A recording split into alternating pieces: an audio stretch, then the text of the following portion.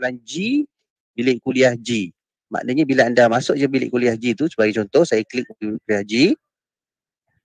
Okay. Uh, dia akan terus je masukkan ke dalam uh, wait for a while. Uh, dia akan terus je masukkan ke dalam saya ada bunyi double. Oh, okay. Saya, saya macam ada dengar uh, dari saya tengok saya bunyi tak ada ni. Ada sound technical. Sekejap eh. Dia macam macam gangguan pula. Sekejap annoying sekejap eh. Alright. Ada live kat sini. Okay. So sekali lagi, mana sekiranya anda kumpulan G bilik kuliah anda, anda akan masuk sini lah. Eh? Anda akan masuk kepada uh, portal tersebut. Uh, sebagai contoh, uh, saya sebagai peserta, saya klik and then saya masuk. Jadi uh, contohnya lah saya masuk sini. Buka yang lain supaya senang nampak nanti. Yang ini anda masuk password anda, lepas tu terus dia boleh masuk dalam Google Meet tersebut. Okay?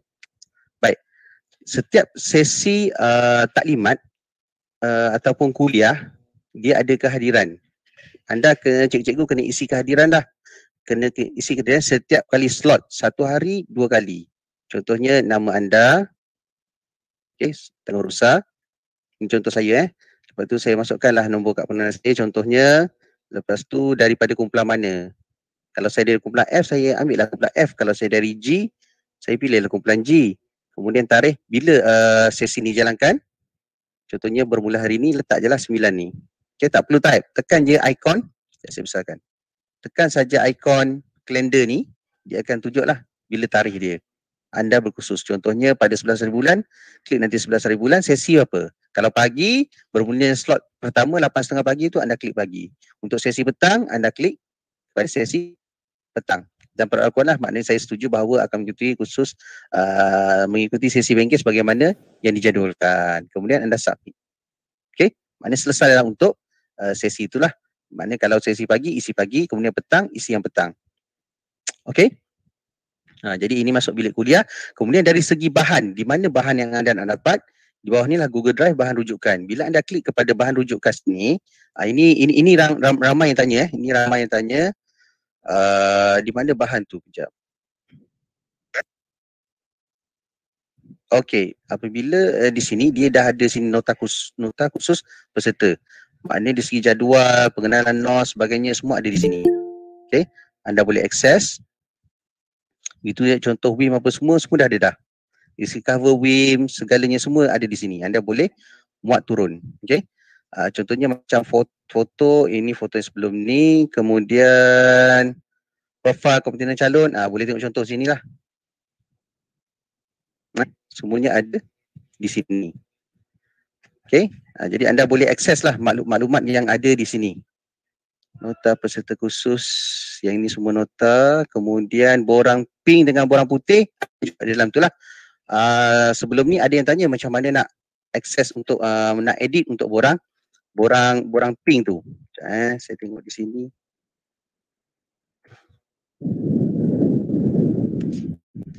Stop jap. Eh, saya masuk.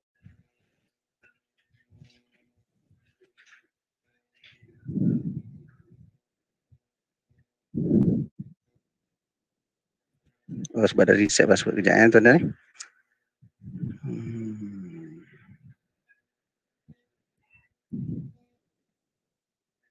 Kalau cikgu sebenarnya ada soalan, cikgu boleh tanyalah sepanjang masa saya bagi taklimat ni.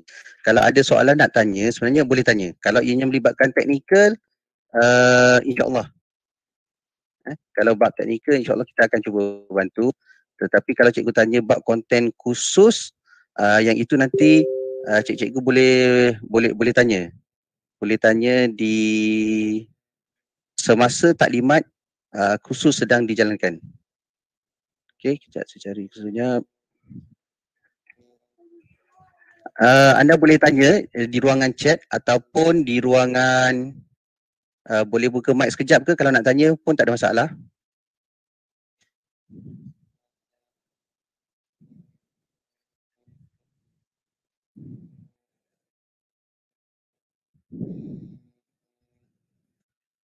Ada soalan cikgu sementara saya masukkan ni. Okey, share screen.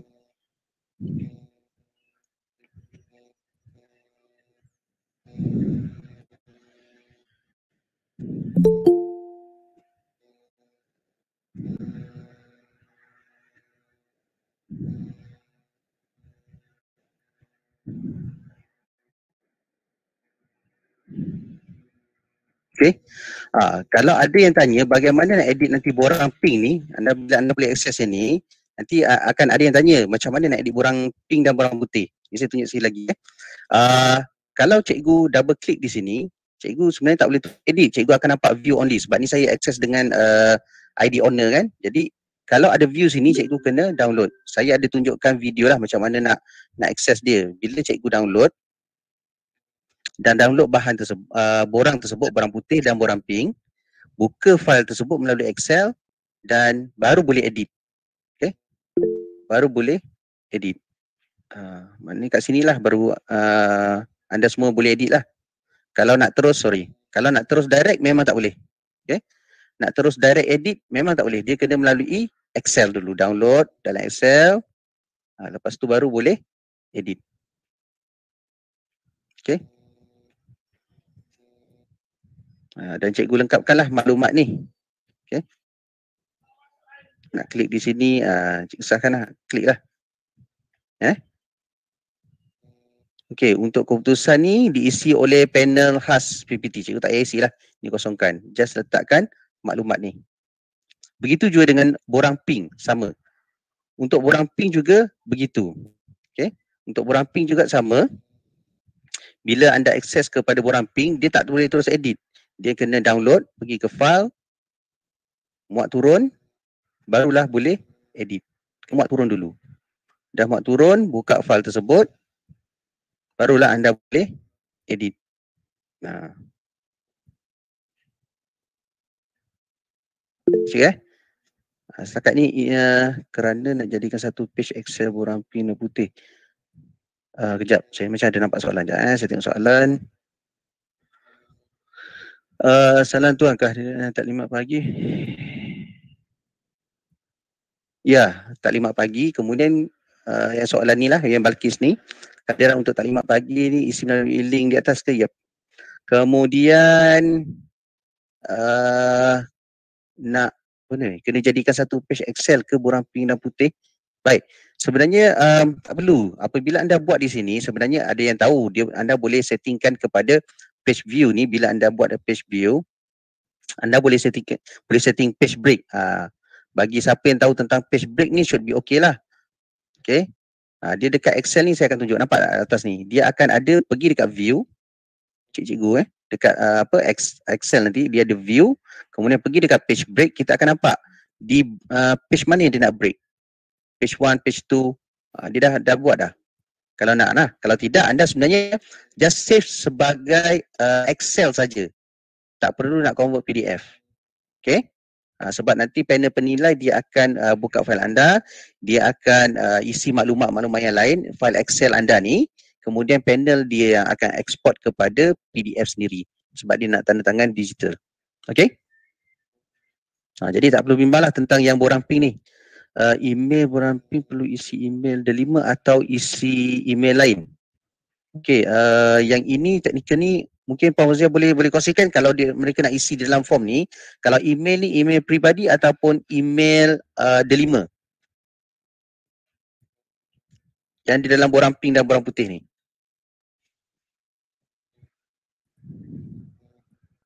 Nanti oh, Cikgu L, saya tak pasti dah. Kan kita dah kata semua guna email delima. Ah, okey. Okey, saya difahamkan isi email delima, jadi cikgu boleh isilah email delima. Sebab kenapa kami galakkan email delima cikgu? Sebab apabila cikgu nak menghadiri kursus-kursus yang uh, apa dalam uh, yang cikgu nak attend nanti, okey, semasa cikgu nak attend uh, bilik kuliah dan sebagainya memang ianya dijana ni eh, nak masuk bilik kuliah dan sebagainya memang ianya dijana dengan ID delima. Jadi bagi mereka yang masih menggunakan Gmail biasa, kami sangat sarankanlah supaya cuba berhubung dengan admin uh, sekolah tuan-tuan dan puan-puan masing-masing. Cuba dapatkan uh, cuba dapatkan uh, ID delima lah. Moedl.edu.my Okay, uh, terutamanya benda ni sangat perlu apabila uh, anda menjalani mengikuti bilik kuliah nanti sebab dia auto. Kemudian semasa interview jika anda menggunakan ID uh, ID delima interview nak masuk bilik kuliah Google Meet ni dia auto. Jadi senanglah untuk untuk kami track uh, record uh, tuan-puan dan kalau tuan-puan pun tak uh, Puan Fauzia, dia orang semua ada ID delima eh. Uh, dah, dah, dah kongsikan eh. Email, email peserta ada kan? Email peserta sepatut yang mana satu CKL tu? Tak kisahlah uh, email peserta yang dah Untuk sat- kalau dia untuk khusus ni sepatutnya dia guna email delima sepanjang khusus.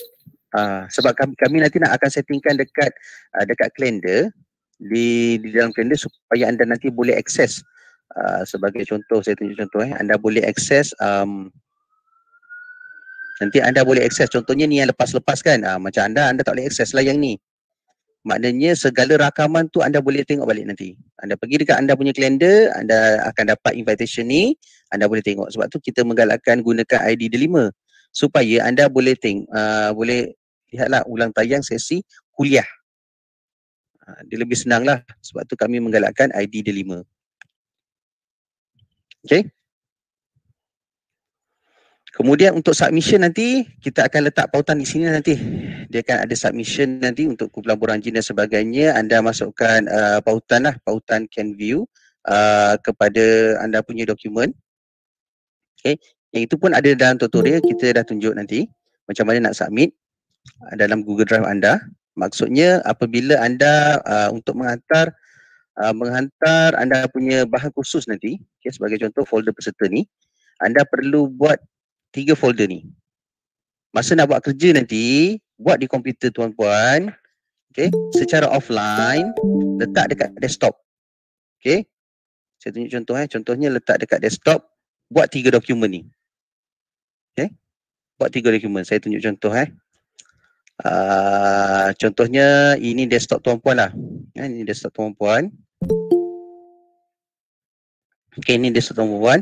Maknanya dalam desktop ni buat satu folder. Buat folder maknanya untuk khusus ni letakkan nama nama anda lah. Contohnya kumpulan. Uh, letakkan nama dulu eh. Nanti kita akan bagi tahu rename dia macam ni. Contohnya ini nama saya. Jadi apabila folder ni, tugasan ni, boleh tahulah ni saya punya. Kemudian di dalam uh, anda punya desktop ni juga, folder dia buat tiga folder. Di mana folder pertama tadi saya dah tunjukkan uh, profile kekompitenan calon. Okay, lepas tu nombor dua, folder apa? Ini buat di buat di desktop komputer dulu eh. Uh, borang penilai penilaian VTO. Ni biasanya borang putih lah. Okay, lebih dikenali dengan borang putih. Ramai yang kenal dengan nama dia borang putih.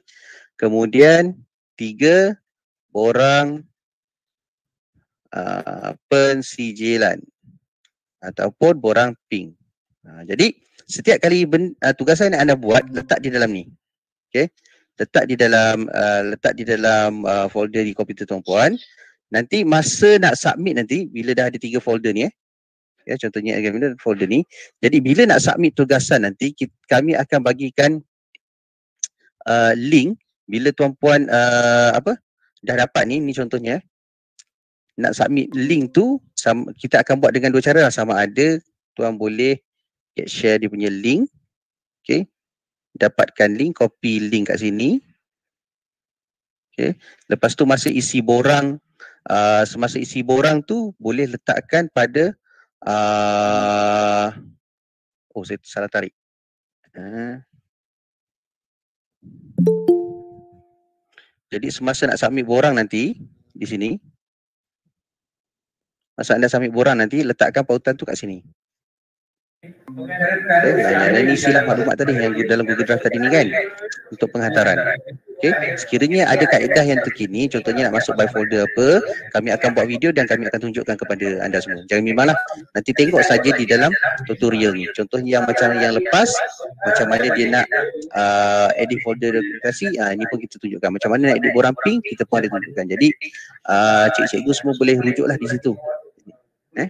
Jadi kohort dua, pergi saja ke kohort dua, pergi kepada kumpulan, nak masuk bilik kuliah, masuk bilik kuliah. Orang kehadiran kat sini. Okay? Okey, saya punya laptop tak boleh on selalu okey je. Uh, macam ni saya punya laptop tak boleh onkan kamera. Jadi kena tengok dekat Google Meet tu. Okey, saya akan cuba tunjukkan uh, di dalam Google Meet. Ini juga satu isu teknikal yang selalu berlaku kepada peserta. Okey, selalu berlaku kepada peserta. Uh, saya akan tunjukkan satu contoh Google Meet eh. Saya buat satu Google Meet yang kosong lah. Uh, contohnya uh, apabila anda menghadiri uh, kuliah eh, kuliah ataupun semasa interview okey semasa interview ini sebagai contoh contohnya ini semasa interview okey sebagai contoh semasa anda interview nanti okey dia akan minta anda nak present ini kalau siapa yang jarang guna Google Meet tak tahulah anda akan present kat bawah ni nampak tak present now Lepas tu cikgu boleh present entire screen, cikgu nak pilih screen yang mana? Entire screen ataupun cikgu nak present kepada window tab yang mana ada? Okay, ha, ini kalau cikgu nak present nantilah semasa sesi nanti. Kalau cikgu nak present. Ha, yes sir. Sorry, sorry, sorry. Saya terlupa tutup ni sebab kat saya saya tak dengar. Sepatutnya saya akan mute kan pada ini. Sekarang ni bergema tak Haji? Tak lah kan sebab tadi dua Google Meet masuk, dua-dua Google Meet uh, buka mic so dia akan bergema. Sekarang ni saya rasa insya-Allah kita tak gema dah. Ni saya nak tunjukkan macam mana present nanti. Kebanyakannya semasa peserta bila dia menghadir khusus dia tak boleh nak tunjukkan evidence sebab dia tak boleh nak present. Dia tak tahu kat mana nak tekan butang nak present. Maksud nak present ni adalah contoh saya sebagai uh, peserta saya nak saya nak present saya punya uh, contohnya saya punya evidence kan saya klik kat sini, saya akan carilah saya punya evidence. Contohnya, saya punya evidence kat tempat lain eh. Contohnya, saya punya evidence dekat profil kekompetenan. Saya pun share. Jadi, saya boleh tunjuklah kat mana saya punya tambah evidence tu contohnya. Okay. Ha, itu ni kaedah teknikal dari segi macam mana anda nak present dalam Google Meet. Ni contoh je. Eh? ini betul tak? Kalau takut nanti kan salah pula. Okey betul. Jadi setakat ni ada soalan tentang teknikal untuk kursus ni.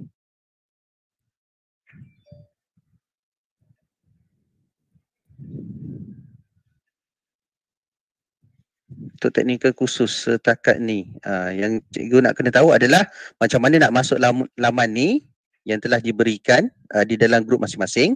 Kemudian pilih je lah kumpulan mana yang anda uh, berada. Uh, lepas tu masuk je lah bilik kuliah. Inilah borang kehadiran. Ini nak submission nanti dan ini bahan rujukan. That's all.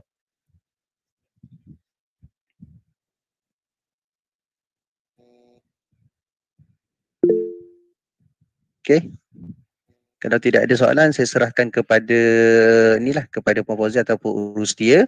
Uh, sebab kejap lagi cikgu dah masuk kelas dah ni. Okay, saya dimaklumkan pukul 9 cikgu ada kelas pertama bersama dengan penceramah-penceramah. Jadi bolehlah masuk di bilik masing-masing. Okay, sebagai contoh bilik O. Nak tengok dah ada punya ready. Ah, tu dah. Penceramah dah ada ready kat bilik O dah. Okay. Uh, so nanti cikgu just join je lah nanti. Okay. Uh, ni sedikit teknikal bila saya teringat uh, on off kamera ni. Baik. Uh, kebiasaannya semasa sesi, semasa sesi uh, kita akan diminta untuk buka kamera kan. Uh, so sekiranya kalau ada dari segi talian anda kurang memuaskan, sebenarnya boleh off, uh, boleh off kamera. Okey, tetapi sebenarnya sepanjang khusus, kenapa uh, dimaklumkan kepada urus dia, uh, kita galakkan dia buka supaya kita tahu bahawa anda berada sepanjang khusus ni lah. Okay. Tapi kalau ada masalah teknikal isu dari segi capai internet kurang memuaskan, cikgu boleh off kamera tak masalah. Cikgu L, Cikgu L, Cikgu L, Ya saya, ya saya. Kita ada tak link untuk yang nak yang ni ada urusan luar macam contoh ambil vaksin. Ada link tak tu? Maksudnya dia nak melaporkan kalau dia dia dia, dia ada urusan yang macam tu. Ah, ya. Uh, kalau yang macam khusus kau kau satu sebelum ni, uh, peserta maklumkan pada penceramah dan urus dia dalam grup tu. Siapa urus dia atau penyelia dalam grup masing-masing dia ada kumpulan dia ada penyelia seorang penyelia daripada BPHAS dan uh, penceramah maknanya boleh makl- maklumkan lah. Okey. Betul betul. Hmm. Dia maklum dengan penceramah aja dia, ya? Yap.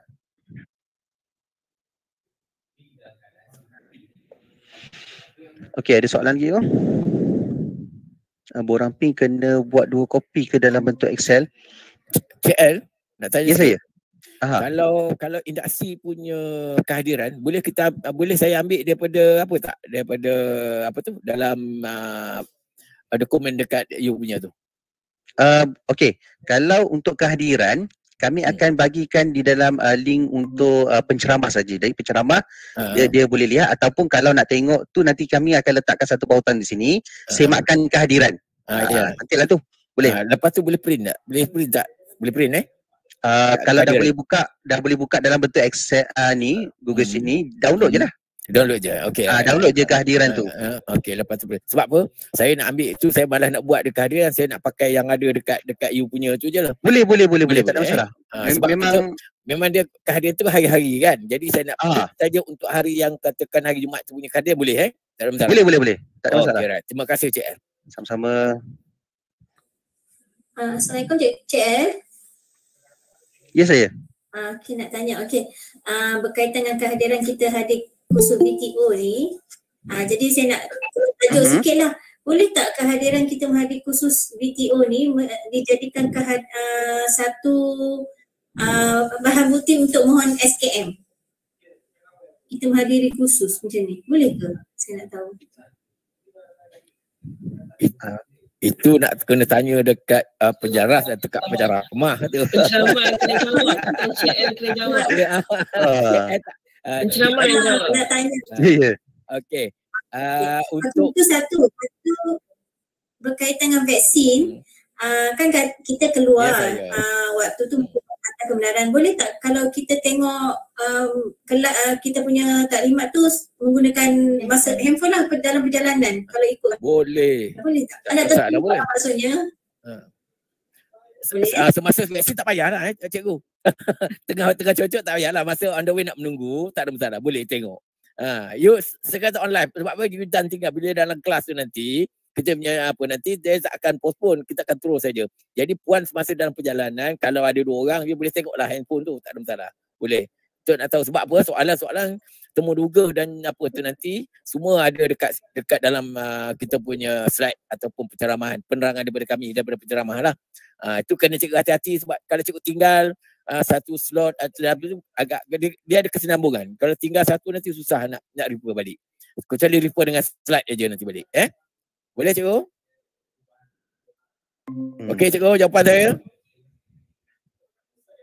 Okey, yang Ah, ah, ah. tunjuk okey tu okey lah tu. Ah, satu lagi yang kata tadi untuk SKM, untuk SKM eh cikgu puan uh, cikgu Amnah, Amnah eh uh, untuk uh, SKM tak perlu sebab ini BTO.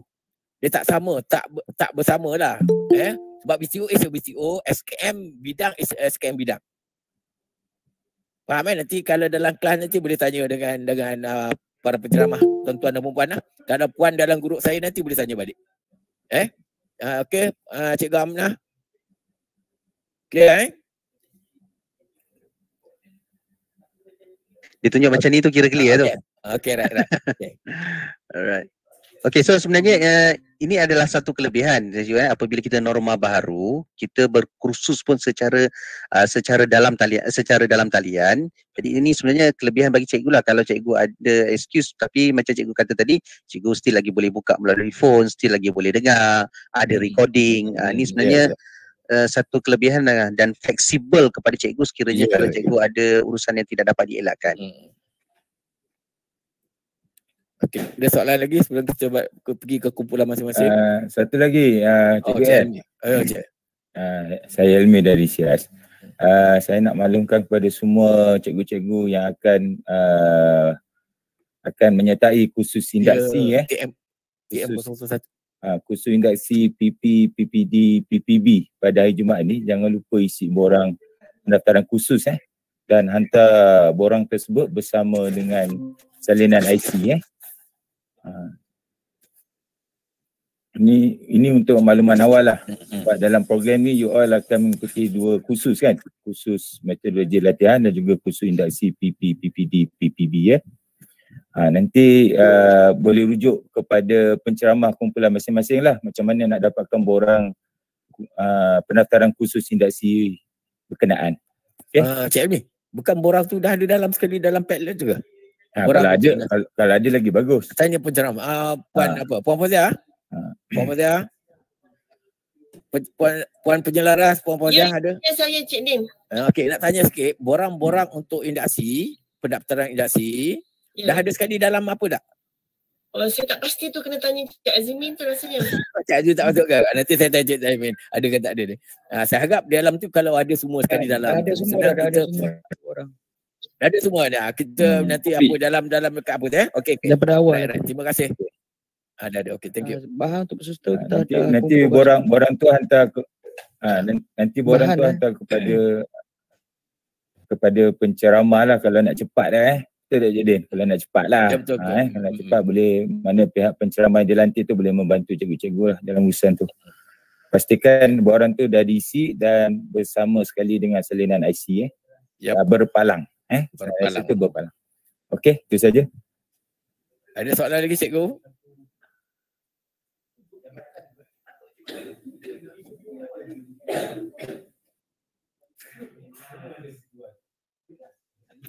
Hello, Assalamualaikum. nanti, Ah, kita boleh bahas, saya nak tanya, Salam. uh, Boleh. nanti macam borang induksi nanti tu, macam mana nak di-upload? Uh, ataupun Hmm. bila tarikh nak kena upload uh, borang dengan uh, salinan IC tu? Okay, terima kasih.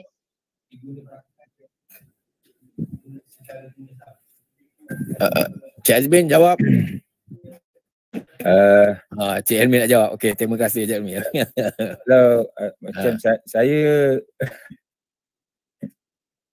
ini salah seorang penceramah khusus Hmm. induksi berkenaan. Jadi untuk kumpulan O tak silap saya.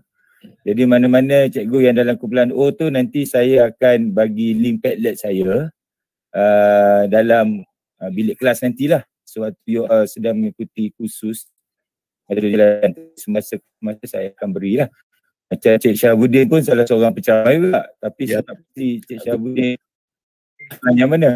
Astag, saya bukan grup K sebab Ha, grup yang yang F ke kata tak silap saya. eh? jadi jadi uh, nanti penceramah yang dilantik oleh pihak SIAS ni akan maklumkan dari semasa ke semasa eh. InsyaAllah. Ha, yang sekarang ni cikgu yang utama cikgu uh, isi dulu borang tu. Okey download lepas tu isi. Lepas tu dapat pengesahan daripada pengetua sekolah masing-masing and then salinan IC tu disertakan uh, Bersekali, bersekali. Ah bersekali eh. Jadi dengan yang borang tadi. Ha, standby je, standby je borang tu. Ha. Sebab kita tak nak jadi yang macam Ah, dia flow. Ah, yes, a minute. Ah, I see. Ah, apa. Eh? Ha, kita tak nak sebab benda anak sulung biasalah macam-macam. Hmm, Masalah. nak, ah.